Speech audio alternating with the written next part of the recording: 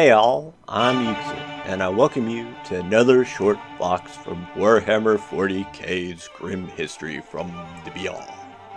Last week, I ended my Crimson Fist series with its first chapter master, Alexis Pollux. This time I shall be discussing the Dark Hunters. Now, for those of you who are unaware, I'm starting a series of voxes on minor chapters. As such, let me know in the comments if there is a minor chapter you'd like me to discuss. And while I'm on the subject of audience participation, if you enjoy this Vox, feel free to like, comment, and subscribe. And with that, let's discuss The Dark Hunters. Despite being a successor chapter of the White Scars, they are not fast strike specialists, but stealth specialists instead. I have no doubt some of you may be curious how a chapter that came from the Laughing Legion could be stealthers. Well, there is a legend of how the chapter earned its name, telling of certain White Scars Legion companies that fought in joint operations with the Raven Guard Legion, and on their return, the tactics these White Scars had learned from their brethren had become part of the battle code of their companies. Now, personally, I believe it has nothing to do with this, instead has to deal with their background. So let's start from the beginning. The Dark Hunters were founded sometime during the Clusiad War, which took place 550.m37 to 560.m37. A White Scars Khan by the name of Angnar was chosen to be its leader, with the 98 battle brothers in his command becoming the chapter's core. Upon this appointment, Angnar was gifted a power axe that was one of the many weapons wielded by the White Scars Primarch Jaghatai Khan. It was a double headed and still crackled with blue flame when Angnar held it aloft. The Dark Hunters took this revered relic weapon of Jaghatai Khan as their chapter's badge, the Axe of Justice, which represented vengeance and justice. They exchanged their white scars livery for the dark of hunter blue, becoming reborn as the Dark Hunters, even as they still bore the honor scars of Chogoris. Being but a single company, they were destined to become a chapter, and searched for a homeworld they could call their own. This homeworld turned out to be the dark planet known as Phobian. Moving on, their first campaign was the Clusiad War.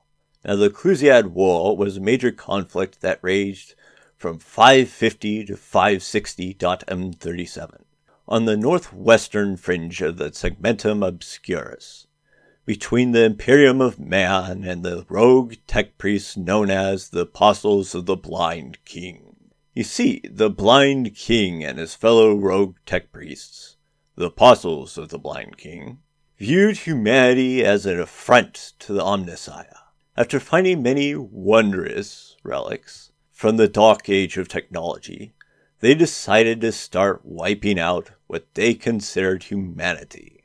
As they went, the cult's power grew ever more as the number of followers drastically increased. Now, as interesting as this war may be, time constraints require me to jump forward a bit to what is significant in direct connection with the Dark Hunters. But don't worry, I'll go into more detail next week when I discuss some of the notable Dark Hunters. So during the Clusiad War, there was a battle known as the Battle of Bloodsteel, where the Dark Hunters were deployed to successfully contain an assault by the warpsmith Hilgar and his demon engines, including the mutated warlord Titan Repellus Maximal. As would be expected of any group under such conditions, the chapter took severe casualties. In the year 936.m38, over 1300 years after the Clusiad War, in the year 936.m38, the supposedly dead Blind King attacked the Dark Hunter's homeworld, Phobian. As the Dark Hunters defended their homeworld, their tried and true tactics and methods of war, despite being very successful in the past, were ineffective when they encountered a battle group of titans. Chapter Master Julanai Khan ordered the 8th Company to penetrate the hull of the leading warlord class Titan, and the 8th Company fought on and succeeded in destroying the Titan from within, granting the victory to the Dark Hunters. But it was at a great cost, for in the conflict, 403 battle brothers, nearly two thirds of the chapter, died. Their names never forgotten, to be revered in the annals of the chapter forever. But chief among those names enrolled are those of Captain Mithrian of 8th Company and Sergeant Aiken, also of the 8th. Their deaths and those of their brethren heralded a new beginning for the chapter and a new method for making wool, becoming shadows of their former selves. And to mark this eclipse, they took unto themselves the motto, Umbra Sumus, we are shadows. It is my belief that these events are what caused the true change in their specialization and methodology not by being a White Scar company that spent time with the Raven Guard, and as such their specialty rubbed off on them, but one created from dire events changing how a chapter perceives its continued survival and use to the Imperium. To emphasize this, many refer to this new beginning as the Dark Hunter's second founding.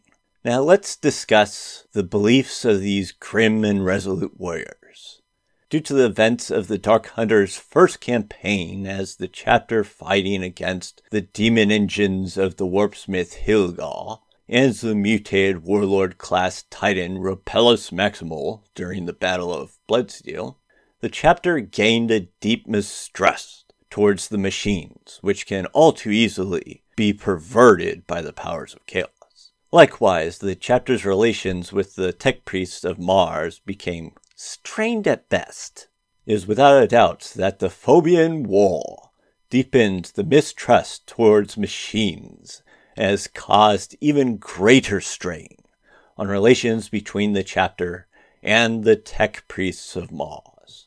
It should go without saying, but Dark Hunters retain a particular hatred and disgust for the demon engines of chaos.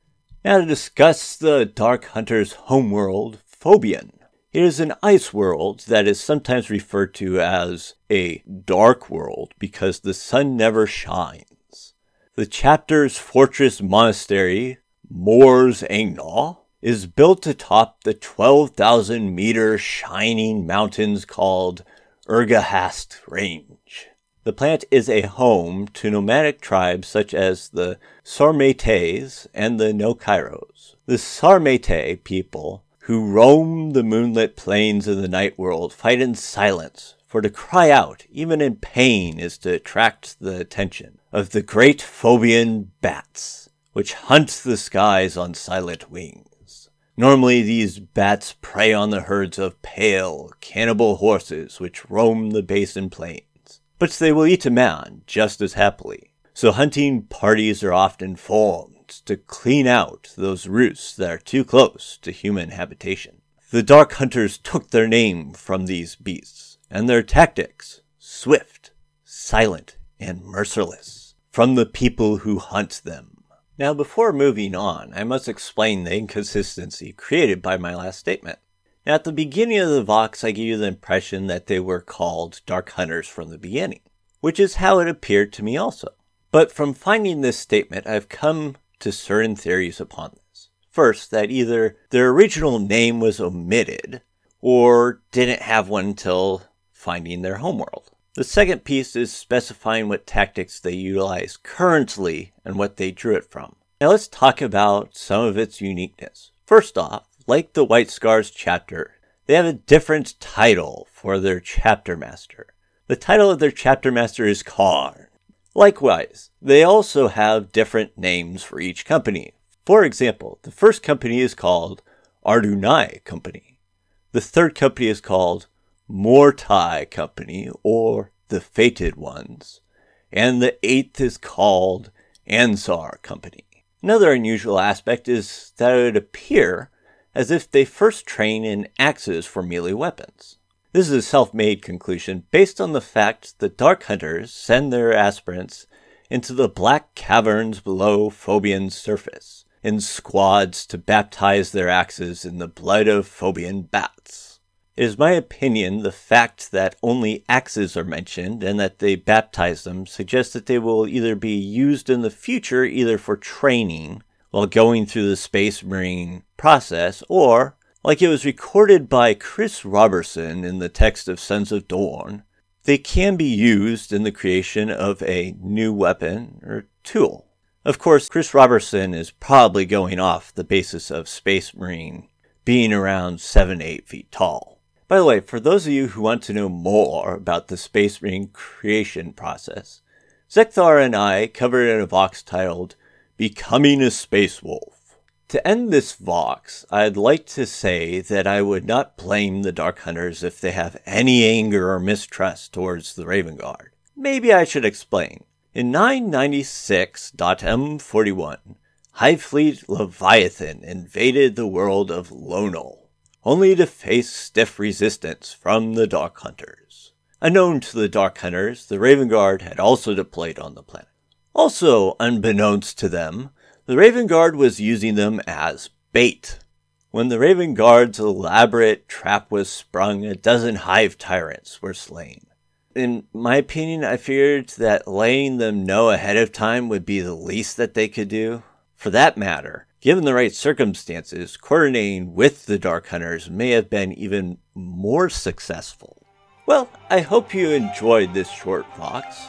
Next, I shall discuss the many conflicts the Dark Hunters have been in, and some of their known characters.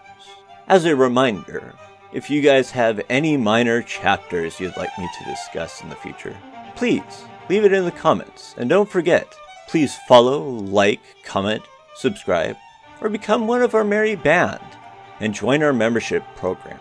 Have a great day, and as always, until next time, this is Yuksen, signing off.